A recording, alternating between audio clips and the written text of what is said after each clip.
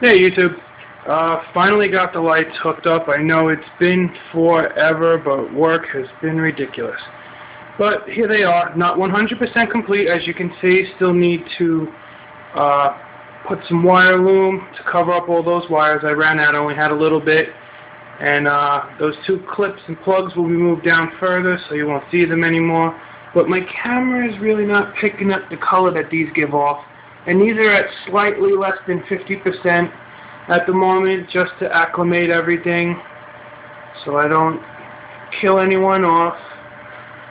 You can see each fixture on the ceiling.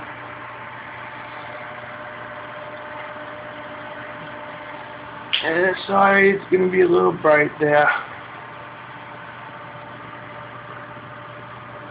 Colors are good. You can see the red's really popping.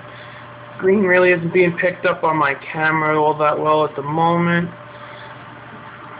The blues are really standing out.